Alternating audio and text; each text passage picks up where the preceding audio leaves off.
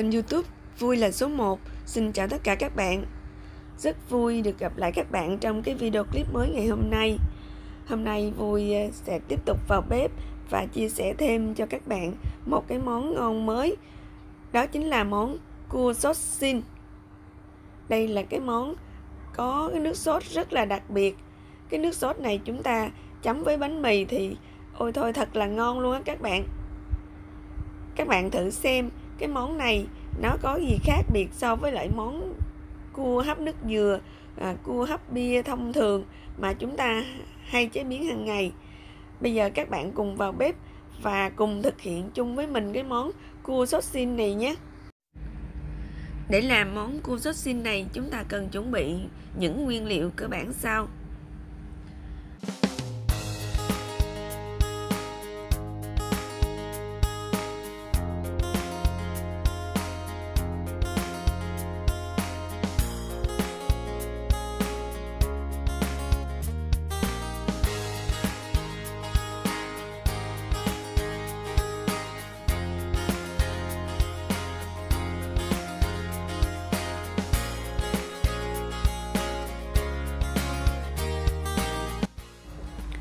Đây, đây là toàn bộ những nguyên liệu mà mình đã chuẩn bị sẵn để chế biến món cua sốt xin này.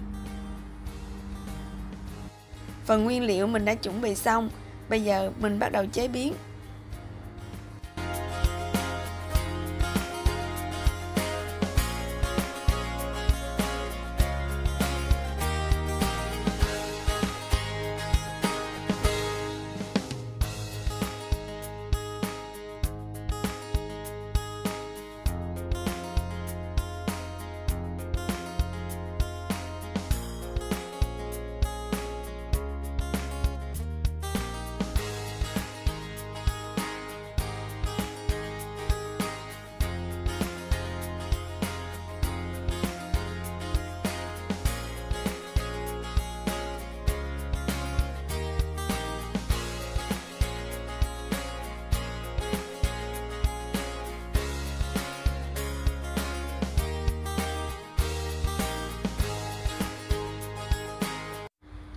Mình đã xay xong tỏi, hành tím và xả.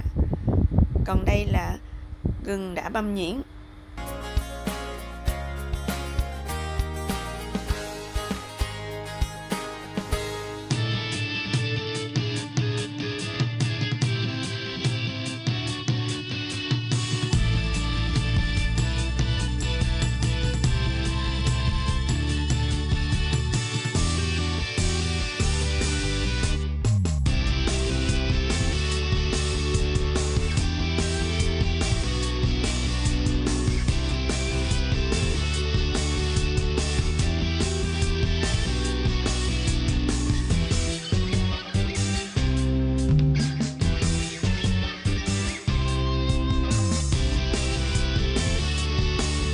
Và bây giờ mình tiến hành rửa cua nè Dùng dao nhọn đâm vào cuối yếm cua.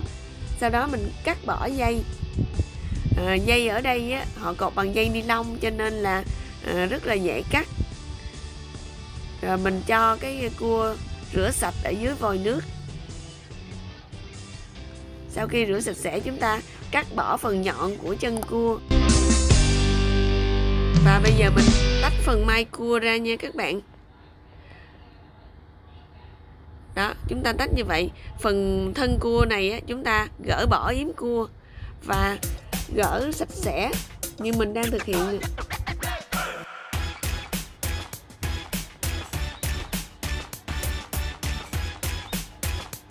Gỡ sạch sẽ xong chúng ta bẻ phần thân cua ra làm đôi hoặc là dùng kéo cắt làm đôi cũng được. Sau đó chúng ta luồn tay vào trong mai cua để lấy túi phân bỏ đi chúng ta làm khéo để tránh bị bể túi phân này nó sẽ rất là khai ạ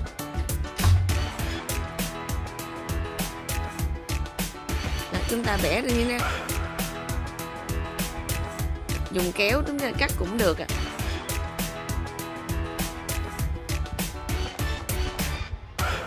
cái túi phân này mình làm nhẹ nhàng, lưu ý nha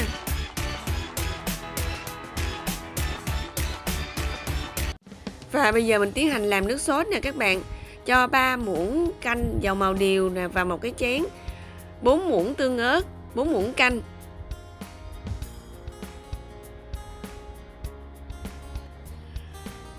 Tám muỗng tương cà, cũng là 8 muỗng canh luôn nha. Tùy theo lượng cua mà mình cho cái ờ, tỷ lệ ờ, tương ớt, tương cà cho phù hợp rồi một muỗng cà phê bột ngọt một muỗng cà phê đường.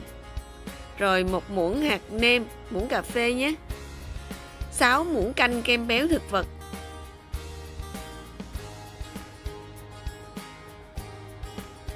Rồi, tiếp theo mình cho thêm một muỗng canh bột năng nữa. Khuấy đều cái hỗn hợp này.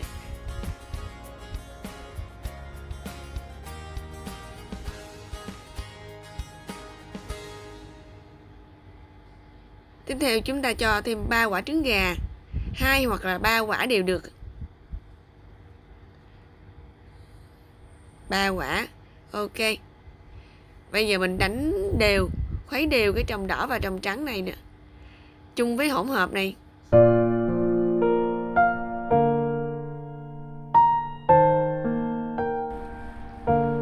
Tiếp theo mình sẽ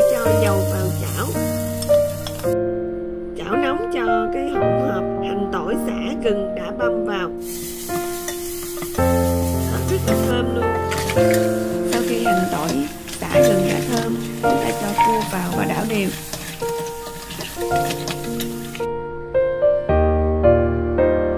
Mùi thơm rất là thơm đó các bạn. Rồi cho khoảng 5 hoặc là 600 ml nước lọc vào.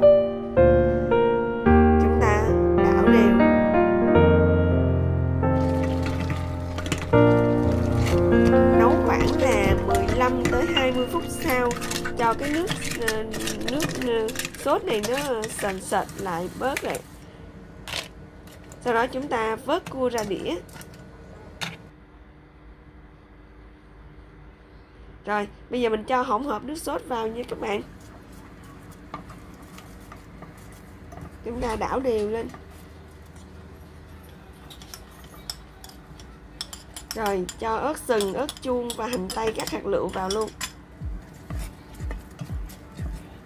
Rồi đảo đều lên. Đảo nhanh tay và à, chúng ta tiến hành tắt bếp. Rồi bây giờ mình xếp cua ra đĩa cho đã đẹp nè.